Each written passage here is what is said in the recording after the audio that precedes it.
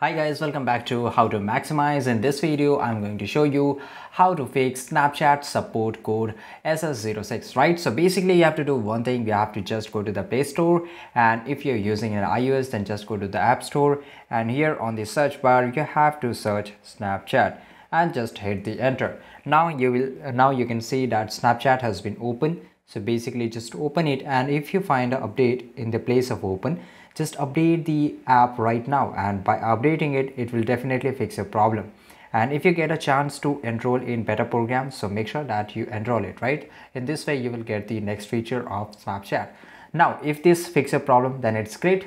Hit the like button. But if it doesn't then just go to the setting of your phone and here you have to scroll a little bit down and basically just click on the app management then just go to the app list. And here it will take a very few seconds to load because the apps depend upon your phone right? So here now you have to search snapchat. So we will just scroll it to the bottom. And if you have search bar like me in the upper then just search right? So basically you have to search snapchat right? And here somewhere we will find this snapchat. So just click on the snapchat here.